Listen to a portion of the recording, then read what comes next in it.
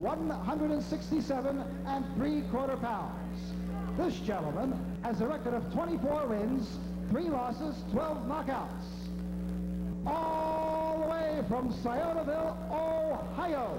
Ladies and gentlemen, let's welcome Mark, the golden boy, Frazie. Frazie.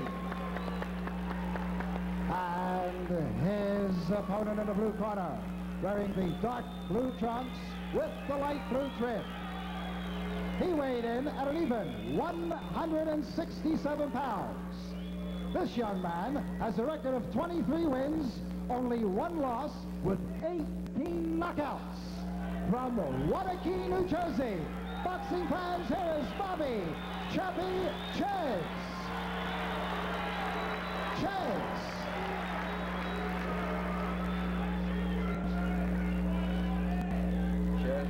Czyz. Frazier, you give me a good clean fight, I will not bother you, right? You score a knockdown, I want you to go to the farthest neutral corner and stay there until I tell you to come out.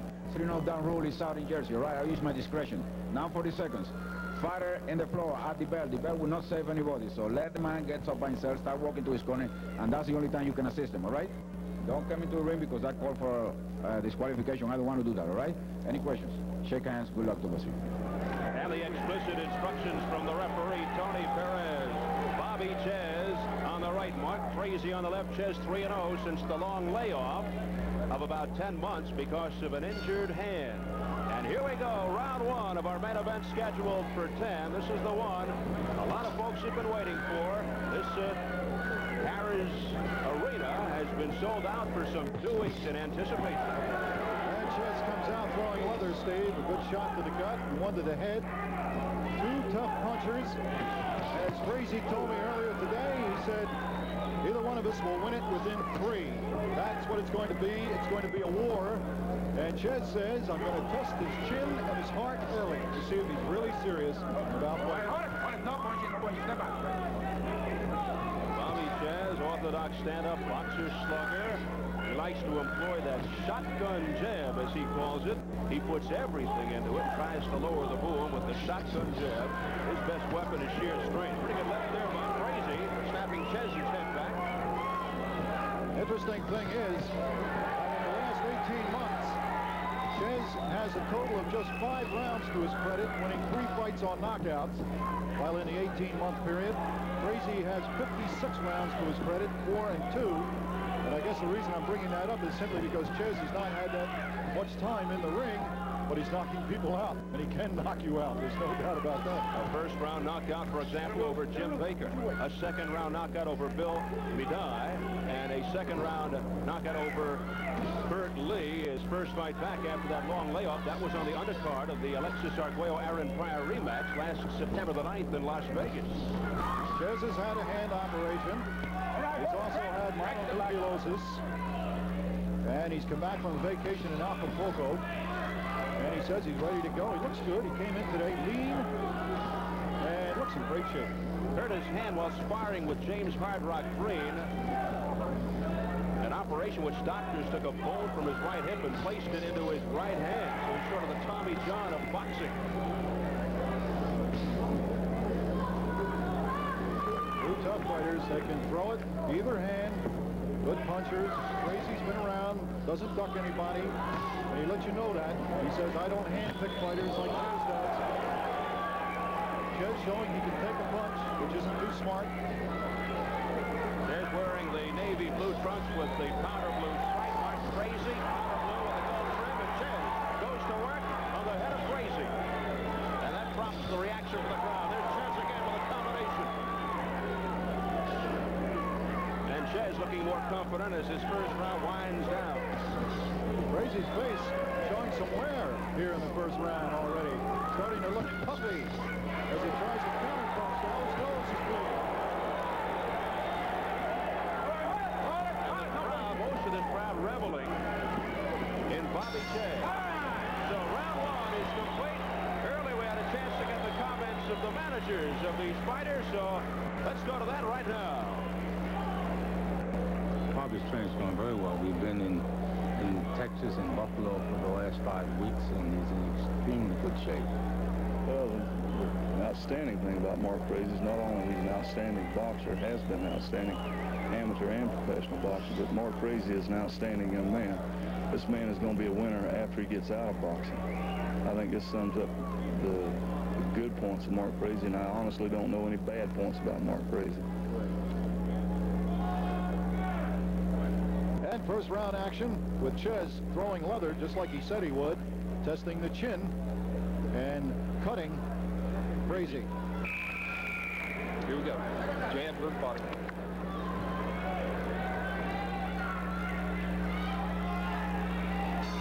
And round two scheduled for 10. Bobby Czyz looking impressive. Toward the end of round one, Czyz says Frazier has lost every time he's fought in Atlantic City, which is twice, and I plan to keep his record intact. It'll give me a good workout before I take on Murray Sutherland this summer. The very confident words of Bobby Czyz wearing the navy blue, the dark blue trunks. There's no doubt about it, this new super middleweight class by the IBF has been a great incentive to Czyz. After his injuries and his illness, there would be a tendency maybe to go a little flat. But now this new class has him recharged, and he wants that fight. He wants to win here tonight, and he wants a shot at Sutherland. However, let's not sell Frazie short. Not yet. The super middleweight class is a relatively new one. It's for big middleweights, 168-pound division, and it's recognized solely by the International Boxing. Frazier looking for an opening, but Czyz covering up well. Czyz is a great crowd pleaser, a great draw. He's a good money maker. He knows it. He says it's a job. I know the fans like me. I can pack the place, and he has tonight. It sell out two weeks ago. The crowd that includes his mom Louise, who is near ringside. There's a solid straight left by Czyz, flush on the face of Frazier. Jab set up the right by Czyz. Sweeping right, that was a glancing blow by Bobby Czyz. Frazie, a little tentative now, a little tentative after getting stung in the face a number of times as they stand in the middle of the ring and unloading his Czyz. Frazie trying to anticipate those punches. Might have flinched before that land. Solid right landed.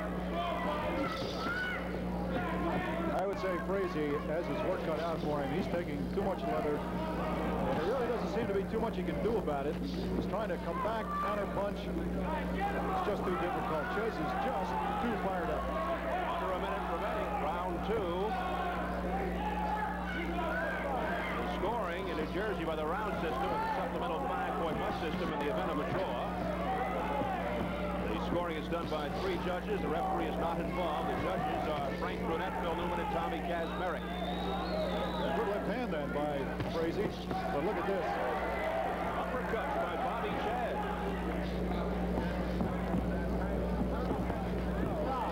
Frazie not landing, falling short with those jabs. Czyz extremely confident today, too. Really confident about this fight. Seems to be a cut developing around the left eye of Mark Frazier as you see the time whittling down. 10 seconds and counting in round two. Czyz says he's in just about the best shape he's ever been in. As we head for the bell. Let's follow Bobby Czyz into the corner. He's got one of the masters talking to him. He's had a year of champions, Lou Duva.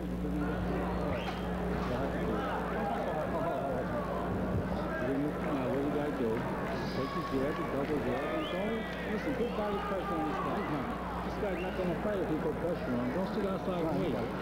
Okay, you want to do that, don't do that.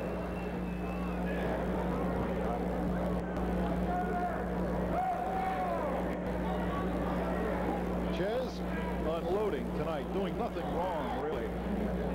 Throwing the shots to the body, cutting Frazier as they try to patch it up.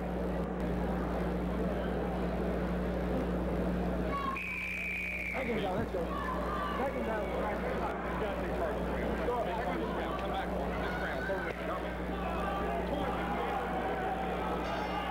Round three, scheduled for 10. Bobby Czyz in control as Frazier tries to put on the attack. Frazier, that blood dripping from a cut over the left eye toward the end of round two. We'll see how good a job uh, their cut man did.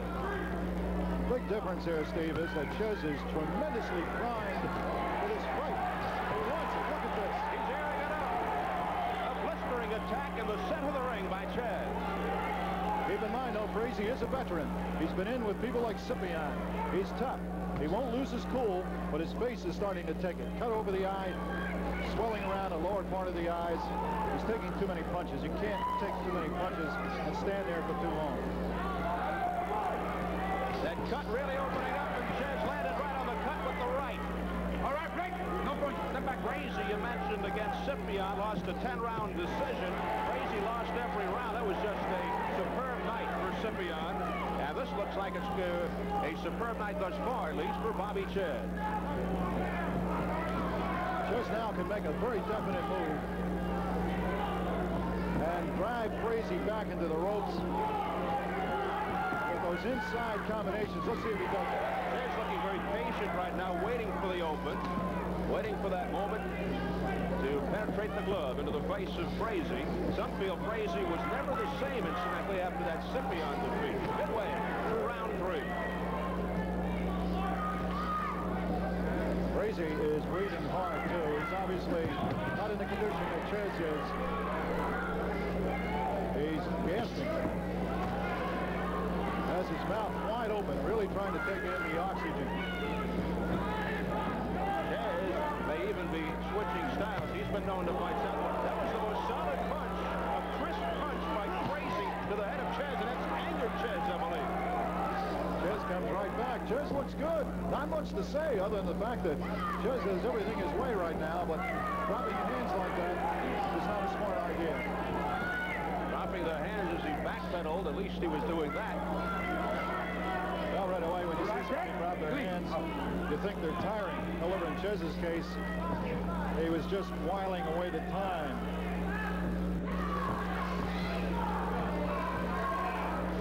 Frazie really, really sucking wind now, really having trouble.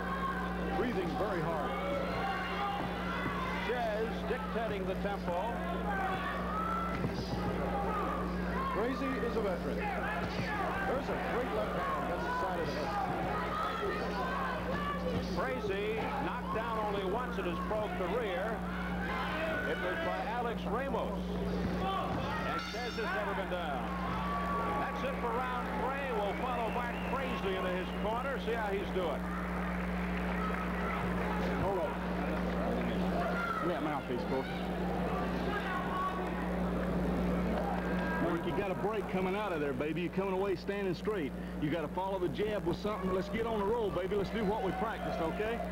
All right, you're not thinking out there. Go to concentrate with it. When you come away firmly, come away in lines. Come in on an angle, go away on an angle.